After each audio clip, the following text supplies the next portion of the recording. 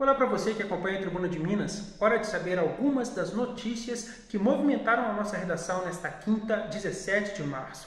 Uma colisão entre uma Kombi e uma moto deixou um motociclista morto na Avenida Brasil, próximo à ponte de Santa Terezinha, na manhã desta quinta. De acordo com o Corpo de Bombeiros, depois da batida, a vítima ficou presa às ferragens. Você também vai ver que o atendimento de crianças com síndrome respiratória aumentou em Juiz de Fora. A Secretaria de Saúde admitiu que a maior demanda de crianças com síndrome respiratória aguda grave tem gerado uma longa espera por consultas.